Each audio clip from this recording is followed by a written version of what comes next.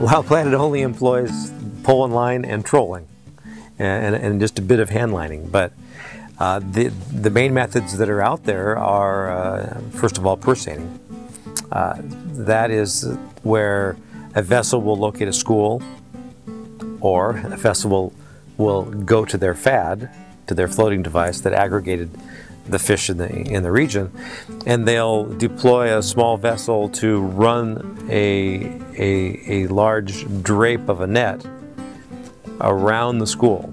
So they're running this net, buoys on top, sinkers on the bottom, and they run the net around the entire school. So now the entire school has basically a vertical curtain of net around it.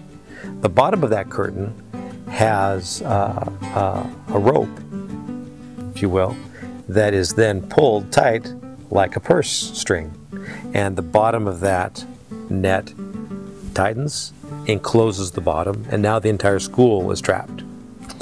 And they draw that tighter and tighter and draw it to the boat, and that entire school comes up next to the boat, and they have these very large uh, net devices that brail the tuna aboard the vessel and and put the basically the whole school goes inside the vessel.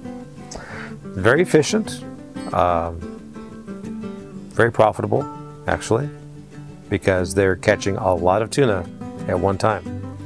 Um, the guys that catch with the pole and line, you know, they, they, they don't have as profitable of a business model, but I think they have a, they have a much more sustainable model where there'll be schools in the future if we catch them that way. This purse seining with fads is just taking and destroying uh, everything.